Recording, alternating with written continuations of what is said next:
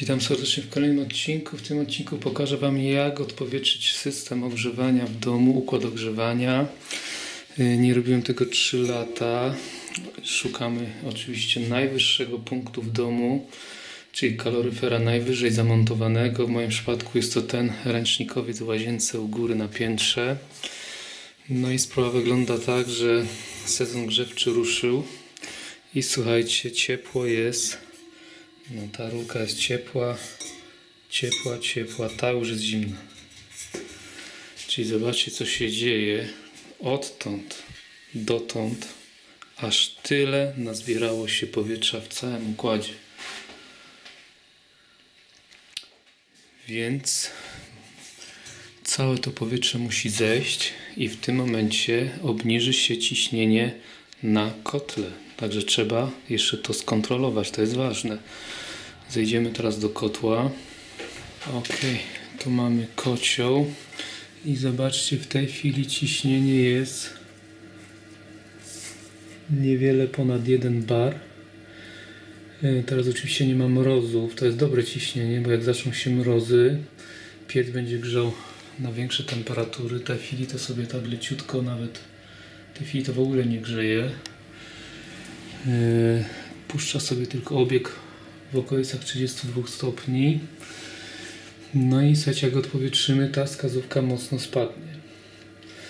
Natomiast ona nie powinna być na przykład yy, przy wartości 2, no bo wtedy ciśnienie właśnie wzrośnie, jak będą mrozy i będzie za wysokie ciśnienie. Teraz jak ono wzrośnie przy mrozach, to będzie gdzieś około 1,5 bara i to będzie dobry wynik. Ok, to idziemy odpowietrzyć. A słuchajcie, jeszcze jedna ważna rzecz. Yy, Zanim będę dobijał ciśnienie, to ważne jest, żeby kocioł nie chodził, żeby blok silnika był zimny. No bo jak jest gorący i dobijemy mu zimną wodę, no to może pęknąć. Czyli teraz go wyłączę. No i tu u góry mamy odpowietrznik. Trzeba po prostu odkręcić tę okrągłą nakrętkę. Tylko ja akurat muszę chwycić kluczem tu tę nakrętkę, bo on się zaczyna u mnie przynajmniej cały wykręcać. Ok, czyli kluczem 13 sobie skontruję i kombinerkami popuszczę tę nakrętkę i zacznie syczeć i zacznie syczeć powietrze. Ok, popuszczone powietrze sobie syczy i czekamy aż całe ucieknie i zacznie kapać woda przez tutaj przez ten otwór, przez ten kruciec. A jeżeli ktoś nie ma na przykład ręcznikowca, tylko po prostu kaloryfery, wiadomo, że na tej samej linii, no to niestety trzeba po kolei sprawdzać każdy. Oczywiście często to czuć ręką, że po kolei żebarka są na przykład ciepłe, a jeden ostatni jest zimny, bo tu jest powietrze. No i po kolei sprawdzamy, odkręcamy, czy syczy powietrze, czy kapie woda. Kapie woda, czyli tu nie ma grama powietrza. No, no w moim przypadku to powietrze zawsze uciekało się do ręcznikowca, chociaż czasami jest też trochę powietrza w kaloryferze w sypialni. Sprawdźmy. Nie, nie ma tu nic powietrza. Sama woda.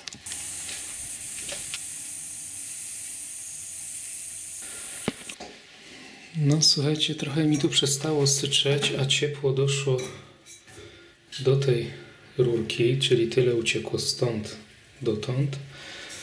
Resztę za bardzo nie chce iść, nie syczy, bo popatrzyłem na piecu już spadło ciśnienie do zera.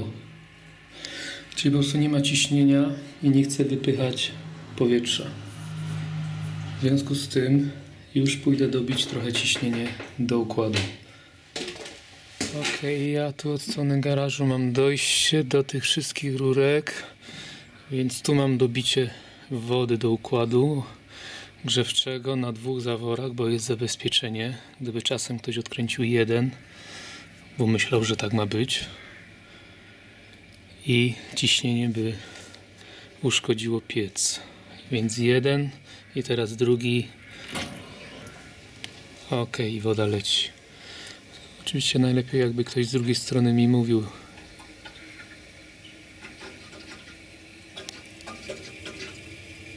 No, słychać jak woda leci. Jakby mi mówił ile wzrosło ciśnienie, a tak to muszę zakręcać i latać i patrzeć. No, całkiem dobrze wyczułem. Dobiłem ponad jeden, ale oczywiście to z powrotem spadnie, no bo tam pewnie znowu syczy. Tak, aż słychać.